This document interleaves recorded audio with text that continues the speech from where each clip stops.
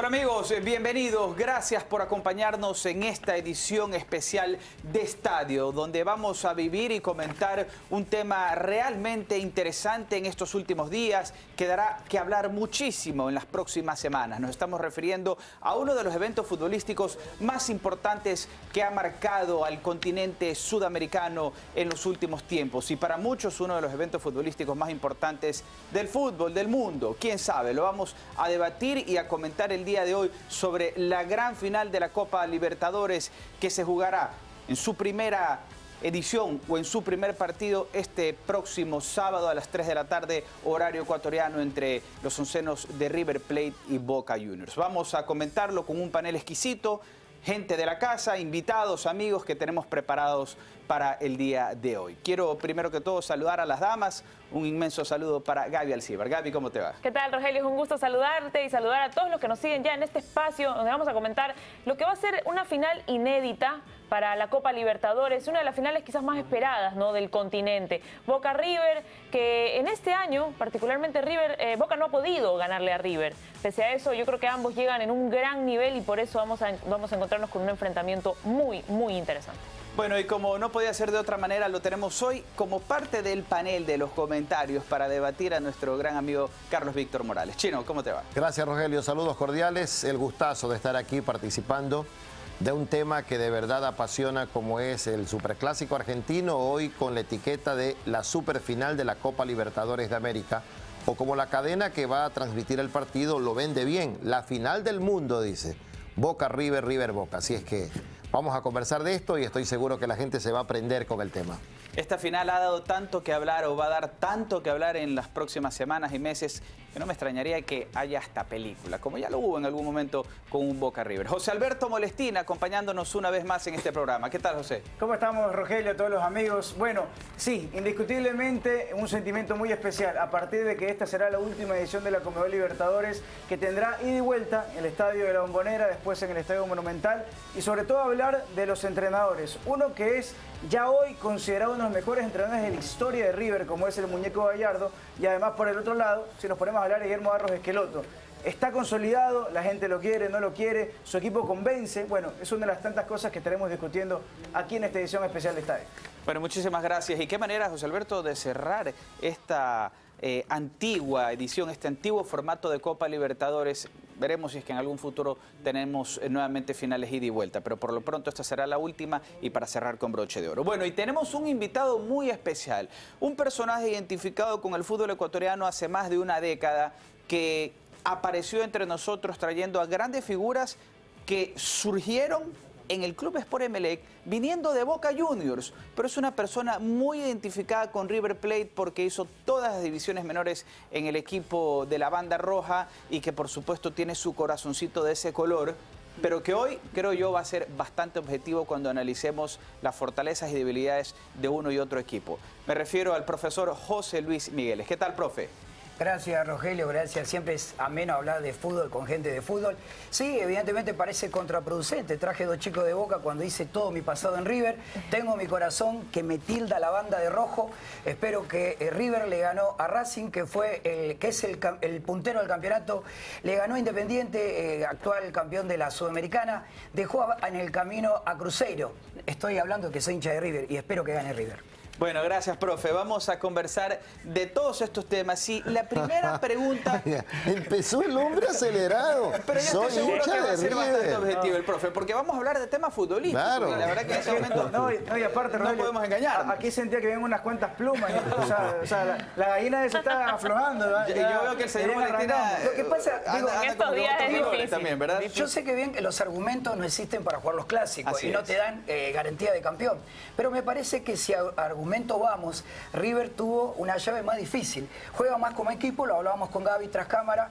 Eh, me parece que Boca apela más al individualismo, al individualismo, individualismo No, el eh, individualismo pasado de- por, lo que por hizo hace poquito Pipa Benedetto es indiscutible, Claro. ingresando, haciendo una epopeya muy parecida a lo de Palermo, pero creo que hay algunos aspectos indiscutibles y, y por eso yo hablaba de los entrenadores, porque Gallardo, en el medio de toda esta historia, ya se lo está discutiendo, se lo está argumentando, tal vez como el mejor entrenador junto a Ramón Díaz, que son cosas importantes importantes. Pero este equipo, veamos cómo está llegando uno y otro. Mientras Boca llegó tranquilo en todas sus llaves, siempre ganó por dos goles, tres goles de diferencia. River peleando, peleando y peleando. O sea, el envío anímico de River es trascendental de cara a este partido. Ojo, que no hay diferencia de goles, ¿ah?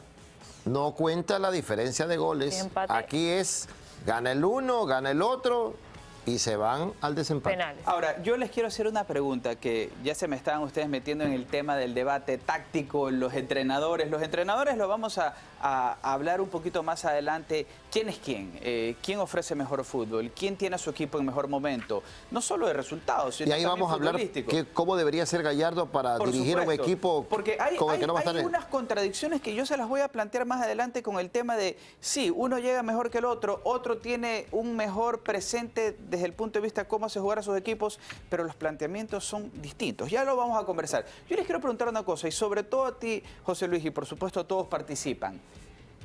A mí me sorprende muchísimo que cuando hablamos de fútbol argentino y hemos visto una selección argentina quedar campeón en el año 78, en el año 86, en Argentina se habla mucho de que este es el evento futbolístico más importante de la historia del fútbol argentino.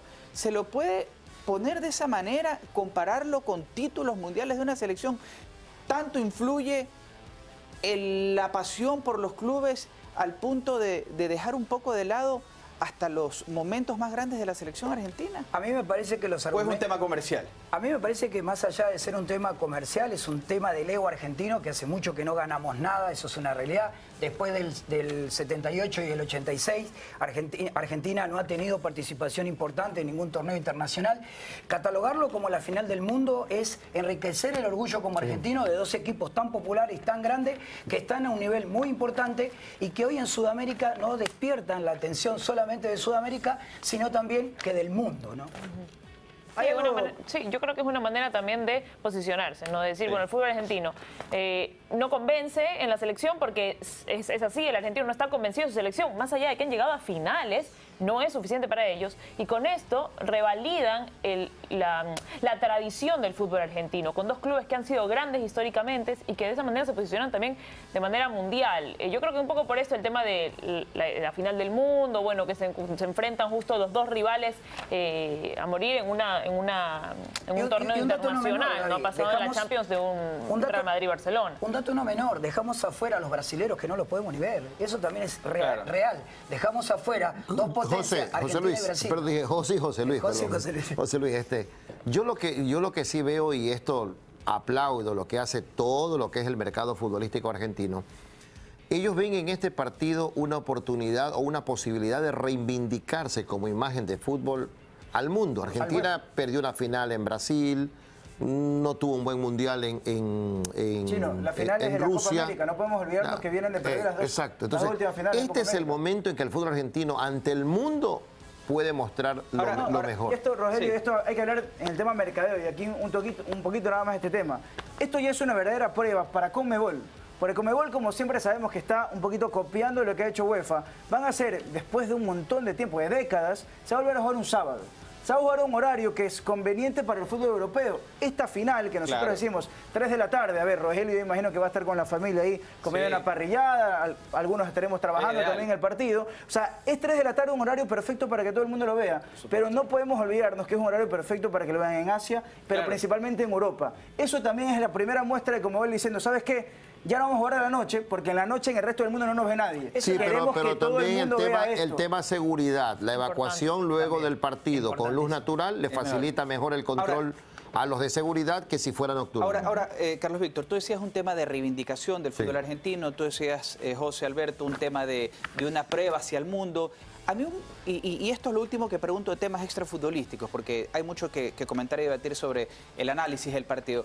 Un colega periodista de Europa me decía, ¿Cómo es posible que Sudamérica no pueda dar una imagen al mundo de que tienen cómo controlar un espectáculo y tengan que elaborar dos finales sin hinchada y no haya control policial, no haya control de la confederación, no haya una capacidad de despliegue que diga van a vivir la mejor fiesta de la historia del fútbol de clubes a nivel sudamericano y con hinchada. Se sienten incompetentes para hacerlo y el punto de partida lo marcó el propio presidente de la República cuando dijo, ojalá Ojalá que no se enfrenten en una final y estamos en etapa semifinal. No, ¿Por peor- qué? Porque ellos sienten que no tienen, no, no tienen, no están capacitados para el control Increíble. y dar seguridad a una final. Increíble, Sí, cuando, también- cuando mucha también- gente, perdón José Luis, sí. mucha gente, sobre todo la gente joven, no sabe lo que han sido los hooligans y allá en Europa los controlaron de alguna Bueno, manera u otra. Pero, ¿sabe Pero qué se demoraron 20, Pero ¿a qué- 30 a qué años. A mí, costo. a- a mí- a mí me parece que también lo que forman parte del, del espectáculo son las personas y lo poco civilizados que somos en Sudamérica, en Sudamérica para, esta, para estos espectáculos.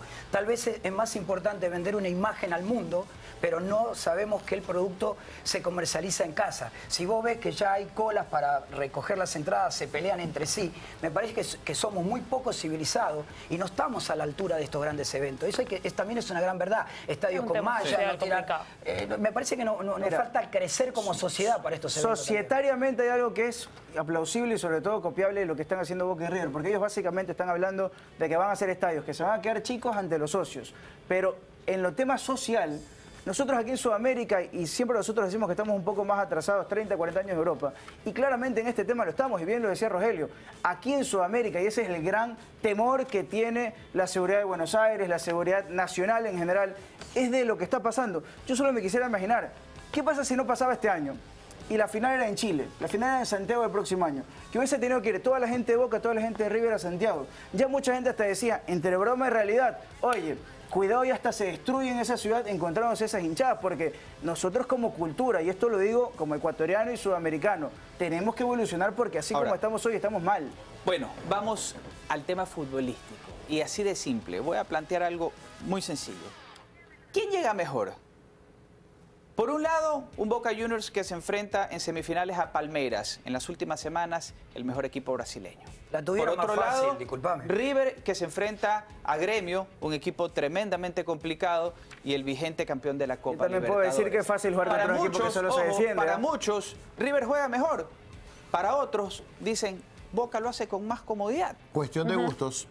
Pero en la cancha realmente hacemos una evaluación poniendo todas esas cosas, Rogelio. Hoy- hoy yo tema escuchaba- de resultados, tema futbolístico. Hoy escuchaba hablar a Maxi López, un referente del fútbol argentino y también de River, y le daba la razón en lo que yo he visto de la Copa Libertadores. River es un equipo que, eh, tiene que va a salir a jugar de tú a tú con Boca, por supuesto, pero en ese de tú a tú, River técnicamente es mejor.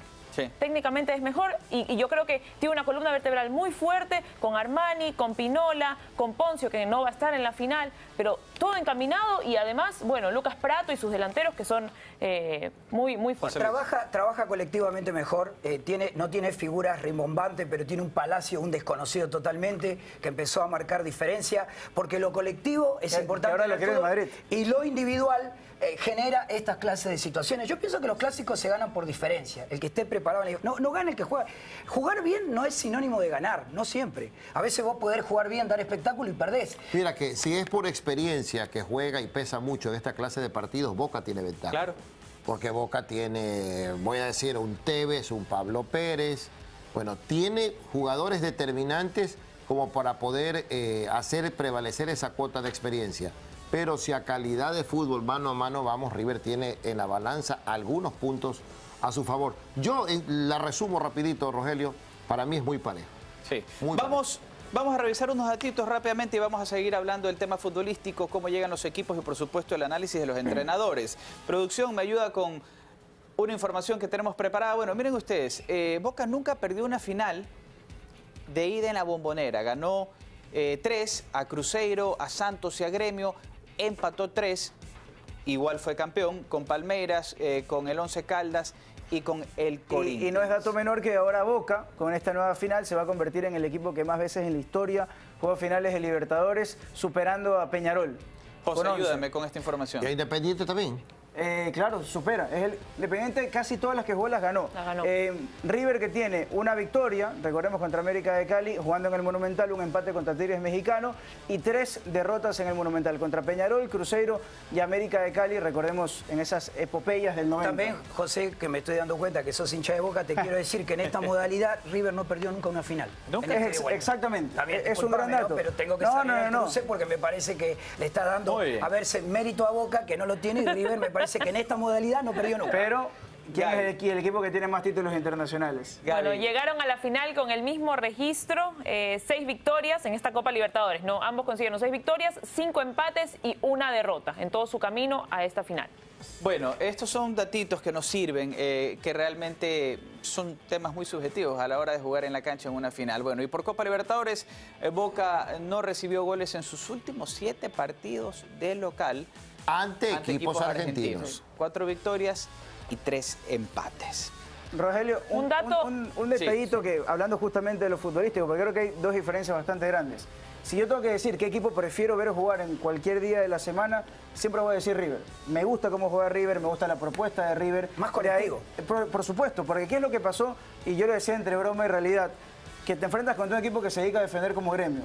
Porque también a River uno pudo entender que colectivamente era muy superior porque el rival también decía, ven tú atácame que yo te contragolpeo. ¿Sabes lo que pasa, José? Que cuando vos sos muy vertical, y a mí me parece que la propuesta de Guillermo es muy vertical, No, generalmente... es- es de golpe. Eso Es de es golpe y importante. golpe. Y eso es uno de los Con temas que yo quería toma- tomar justamente ahora que vamos a hablar de los entrenadores. Revisando, porque uno, eh, para, para hablar de este tema de cosas, de este tipo de cosas, hay que hacerlo con mucha propiedad, de verdad. Revisando yo la información de las últimas alineaciones de Boca Juniors en Copa Libertadores, como dice José Luis, Guillermo es más vertical, de pronto es un fútbol más práctico. Pero más allá de ser vertical, es un técnico completamente ofensivo. Y yo no digo que el muñeco Gallardo no sea un técnico ofensivo, porque su despliegue de buen fútbol lo hace hay ofensivo. formas de ataque. Son, do- son dos formas diferentes de ser ofensivo. sale Guillermo, Barros Esquelotos en casi todos sus partidos de Copa Libertadores a jugar con un prácticamente 4-3-3. Mira, Cuando lo el pasa es muñeco que Gallardo él ha sido menos, Exacto, menos pero Gallardo, ahí es donde yo quiero que ustedes hagan la diferenciación. Es el muñeco Gallardo más inteligente porque plantea de muchas formas, de diversas Totalmente. maneras los Varía, partidos. varía su. Mira, eh, eh, voy a hablar más de Gallardo porque me interesa más que Guillermo. Evidentemente, eh, eh, Gallardo maneja un 4-3-1-2 que a veces lo varía en un, en un 4-3-3. Correcto. Lo varía en, en el- la misma función. Depende si está Quintero o no está Quintero, O por el, Piti, ejemplo. o el Piti Martínez Sí. por izquierda o el Piti Martínez en el centro. O Fernández para darle más equilibrio Ahora, la hay un dato no menor, que Gallardo le supo jugar a Boca con sus propias desesperaciones, poblándole el medio sector, presionándolo muy alto. Y en la misma bombonera. y en la misma bombonera y sacando la diferencia. Por eso digo, los argumentos de la, de- de- de la historia no sirven en estos partidos, pero a mí me parece que el equipo colectivamente que se plantee mejor, me parece que se va a José Luis, pero yo no creo que eh, Barros Esqueloto, con esa experiencia a la que refieres, vuelva a jugarle de idéntica manera. ¿Cómo hace, cómo tiene hace que, para tiene que encontrarle una vuelta Pero ¿cómo a hace cambiar con las mega figuras? Yo, te voy a- te voy a- yo, yo creo que eh, Gallardo sustenta en un equipo que lo escucha, en un plantel que recibe esas indicaciones. Ahora hay un, te- hay un dato no menor, Carlos Vito, y vos lo sabés por tu Sí. experiencia. La influencia de no estar en la banca. Va a ser... Sí, va a así ser- es, eh, ahí me parece que Boca tiene un plus. Y, y yo te agrego algo más. Está bien, Gallardo no va a estar en la banca, en la zona técnica, no va a estar eh, en los días- dirigiendo. y ojo, que la- la Y hay un de futbolista- también. Hay un futbolista que dentro de la cancha es el que recibe y transmite, que se Poncio. llama Poncio. Y no va a y estar. ese Tampoco va a estar. tampoco va a estar. Usted- ¿Quién toma la bandera de Poncio? No digo en el puesto, en Y a- y función, sino quién va a ser el que Pérez- Enzo. Pérez, Enzo Pérez va a entrar por eh, Poncio. Enzo Pérez, el más emblemático, es un jugador que Gallardo eh, lo respaldó, No, lo trajo y, más, momento y más difícil. identificado Y más también identificado. porque siente la camiseta, Eh, pero Una experiencia. Yo entré una vez a una cancha sancionado en una funda de balones. Por ahí se la puedo decir a Gallardo que lo haga. eh, ¿no? la puede Soy pasar chiquito, por, puedo entrar igual. por WhatsApp. Ahora, Oye, te- ahora les digo que eh, Enzo Pérez no ha sido titular en los últimos partidos. No. Eh, incluso justamente- ha tenido preferencia sobre Nacho Fernández. Eh, Pero está es- Suculini también. Pero en esa uno tiene que entender de todas formas que Enzo Pérez, por más de que no esté viendo su mejor momento, es un tipo que tiene jerarquía, que tiene experiencia y que ha sido figura no solo en River, sino internacionalmente. Pero tampoco no solo hablando de River, también hablando un poco de Boca. Qué bueno. Eh, lo que te puede dar Boca, que es in- interesantísimo porque este equipo de Gallardo en los últimos tres meses, perdón, el equipo de Guillermo cambió. Cambió. Porque es, era otro equipo, ahora es un 4-3-3 clarito, como decía Rogelio. Pero, cambiás- pero, cambió porque, yo- porque pero- basó en, la No, individualidad. No te olvides Sí, que Benedetto que- define las dos Sí, semifinales. pero- que pero se es el tema. termina River- encontrando. Sí, River es un equipo que eh, se apoya mucho en su medio campo, yo creo. O sea, tiene mucho, eso es, es muy importante para River esto, y justamente las dudas se presentan ahí ante la salida de Poncio, que es un jugador muy importante. En cambio, ¿qué pasa Es en Boca? Boca, yo creo que eh, por su verticalidad y por cómo terminó definiendo con Benedetto, que termina entrando y con, buenos, con buenas asistencias, pero en esa verticalidad también están con ciertas dudas en lo que va a ser la delantera, porque están también, Sí. porque muchas Están veces Ávila... con Ávila Zárate. Eh, claro. Y, no le dan cabida y a de Benedetto. hecho, de hecho han- Claro. han, Ávila. intentado poner a los dos, que ya igual piensan piensan que es una locura, pero que vaya Benedetto y Ávila. O sea, con Lo todo, que pasa- lo intentaron en es que entrenamiento. casi fútbol sabemos que es más fácil marcar. A ver, los que jugamos fútbol sabemos que es más fácil marcar dos delanteros referentes y fáciles de tomar que un jugador que se mueva por se todo. Y por aparte, es, que es, es clave que antes en el, en el Boca de Guillermo era muy encarado o, o muy, sobre todo, enfocado en lo que podía hacer Pavón. Era Pavón siempre por la banda. ¿Y cómo se transformó este equipo? Que está Pavón por una banda, eh, está Villa por la otra banda. protagonismo y está Pavón también. Por supuesto, pero ¿qué es lo que pasa ahí? Que ya Pavón cuando aparece hace daño. Y por el ¿sabés otro lado también está el colombiano Villa. Porque no y le está dan la pelota, le tiran pelotazos. Pero, José es muy también- diferente que también- te den la también pelota. que Zárate- te ¿Juega, juega mucho Zárate- la cábala en esto o no? Yo te digo que sí. Acá si Eh, vos me entonces decís Benedetto no es titular. Que no me tengo que cambiar el calzoncillo por en- 30 entonces días. Benedetto no es lo titular. Al Sí, cambio. pero también Va al acordémonos cambio. que más allá de la emoción de que Beneto haya sido importante en los últimos partidos, Beneto viene de una recuperación larga. A la final no está 100% para arrancar un partido desde, el, co- desde el comienzo, porque en los últimos encuentros no ha sido titular. Ahora también tú dices el tema de, de- de Pavón, que ha perdido un poco de, de- de protagonismo.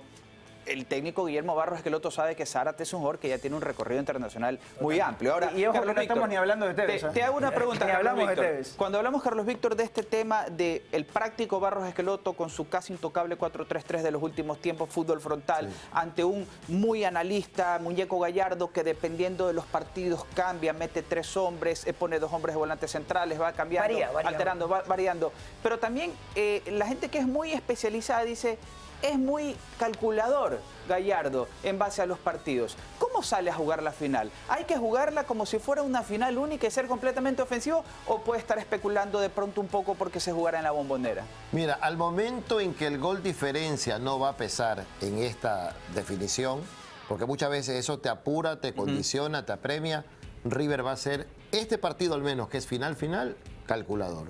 Pero un calculador inteligente, Claro, ¿no? No hablo de calculador tipo gremio que se tira atrás. Que es diferente Uh, ser eh, calculadora, es especulador. eh, que son dos cosas muy diferentes. Exactamente.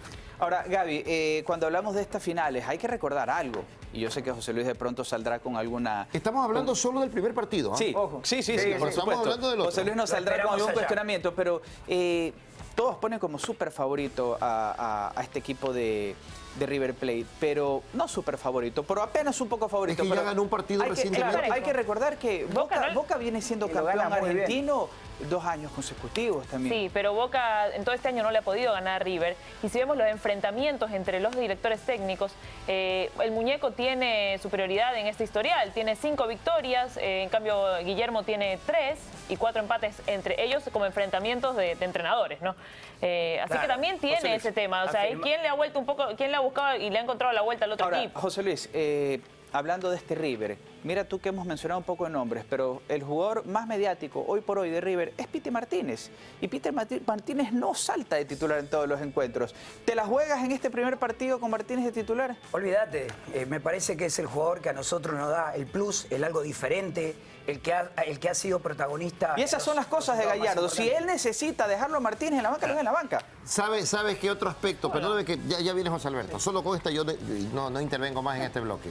Pero Chino, sos de. Hay, en una final hay un puesto que es determinante para conseguir el objetivo, que se llama arco. Y en arquero, Sí, Armani Armani. se lo devora al que está enfrente. Ahora, yo le hago la pregunta para finalizar a José Alberto, porque se ha hablado un poco más de River y por ahí José Alberto tiene cierta Está inclinación resentido, hacia no, Boca. Es Un porque, Boca, es un porque Boca- siento que están acá hablando. José Alberto, un Boca que no luce mucho por sus figuras individuales. ¿Quién es la clave de este Boca Juniors para marcar una diferencia, convertirse en líder? Y no sé si de líder también a la llave, como dicen unos colegas extranjeros, a la llave del gol, no solo por marcar, sino por gestionarlo, para ponerse este equipo al hombro. Eh, acá hay- está esta parte de Yo creo que indiscutiblemente hay que hablar en lo que pueden coexistir, porque creo que los que dos van a jugar hay que ver cuántos minutos tiene cada uno. Guanchope Ávila, porque ¿qué es lo que hace Guanchope en los primeros 55, 60 minutos? Desgasta, trabaja, traba, trabaja lo que tiene que trabajar el delantero. Va y desgasta mucho. ¿Y qué es lo que ingresa a hacer Pipa definir. Aprovechar justamente aquello. El desgaste que hizo el otro, él ingresa en los últimos 30 Que pasa es que no siempre te puede resultar el claro, cambio. Obvio, lo que pasa es que si uno tendría que hacer la portada y el chino que ha, trabajado años en, en tema gráfico, si uno tiene que poner a los dos, a las dos figuras, Sí. yo lo pongo a Piti Martínez y a Benedetto. Totalmente. Y estamos hablando de dos tipos que tal vez los dos podrían no ser titulares, Seguro. pero que lo determinantes que son, en 20, 30 minutos te pueden cambiar la llave. Y me la juego con algo, Rogelio. Sí. Si me preguntas qué factores van a ser determinantes en los dos partidos, La pelota te digo arco y pelota quieta. Sí. ¿Cuánto influye, Gaby, que no esté el muñeco Gallardo en la primera final? Va a ser muy importante. ¿Habrá Tengamos en cuenta comunicación que- o no? Tengamos en cuenta que en el partido anterior él igual buscó tener comunicación. O Claro. sea, sabía la importancia de que sus palabras lleguen al equipo en ese Y momento del ahora que está partido. sancionado. No, y ahora no va a poder hacerlo, pero ahora lo hizo que- y por eso terminó sancionado. Sí, ese es un dato Sabe la menor, importancia ¿no? que es. La influencia que tiene Gallardo en manejar el grupo, en decir la palabra correcta. A veces hay, hay entrenadores que no son influyentes en sus equipos. Hay otros que mecanizan y hay otros que sí manejan el ser influyente y que mirás a la banca buscando Y respuestas. Rogelio, para que la gente tenga una idea, la sanción es no puede entrenar los últimos dos días previos. Eso te iba a decir, es no muy puede dura entrenarlo porque ni acá, siquiera. acá eh, la, la opinión generalizada del ecuatoriano decía, qué débil que es la Conmebol. Una Pero locura. 50 mil dólares de sanción. No entras ni al estadio en el primer prohibido. partido y luego En el segundo tampoco. tampoco. Tampoco. Son cinco fechas. Claro, pero en el segundo, en el segundo van a ver, eh, de, de cierta forma, va a poder entrar al estadio. Pero lo que Este pasa no es que puede entrar ni al reiteró. Acá. Gallardo no puede ni ir a la bombonera. Claro. Pero fue. ¿fue justa la sanción o muy dura? ¿O todavía sigue siendo muy débil? A ver, si recordamos, Gallardo fue sancionado porque entró tarde el equipo y a veces hay que modificar algunas sanciones. No, no, no podemos comparar un insulto de una entrada tarde de un Yo, equipo. yo- yo- yo en es. esta estoy con que este tipo de sanciones deben ser económicas, no, no, no que no puedas estar en la banca. Esta sí. Así es. Sí. Bueno, señores, ¿alguna conclusión final? Que gane River. No, con- como conclusión mía, la verdad es que finalmente no se sabe quién va a ganar. O sea, lo bueno de esto es que llega, llegan dos equipos que nos van a dar totalmente sorpresas. O sea, no sabemos, no podemos. Hay pronóstico reservado en esta final y eso es lo bueno. ¿no? Cuenta la casta copera de Boca de tener más. Te dije, te- hace un rato te dije, para mí la experiencia. Hay puestos de Boca, tiene gente de mucho peso y experiencia.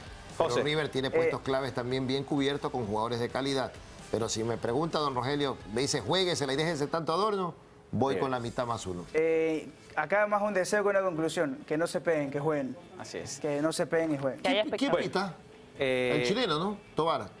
Tobar, Roberto Tobar. Tobar. Sí, Ojalá sí. que no sea protagonista. que eso es Bueno, señores. Gracias. Les agradezco muchísimo por esta participación y por supuesto recordarles a todos ustedes que pueden observar este programa a través de nuestras redes sociales, lo pueden observar en nuestra página web estadio.es, en nuestro Facebook como Estadio o en nuestras redes en Twitter, en Instagram como Estadio S. Un gusto, su Gracias. compañía y por supuesto para nuestro invitado especial José Luis Migueles que disfrute el partido este día sábado. Nos vemos hasta la próxima. Chao. Bye.